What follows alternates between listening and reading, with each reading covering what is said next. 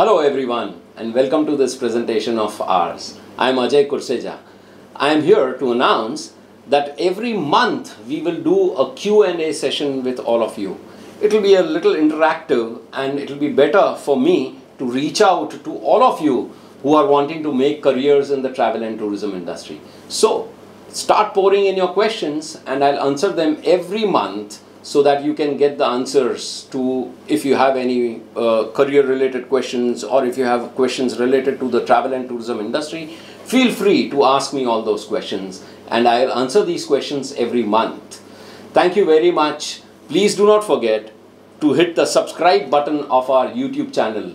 International Travel and Tourism has its own YouTube channel, so please subscribe to that and I will keep in touch with you once every month answering all your valuable questions. Thank you, good luck and God bless.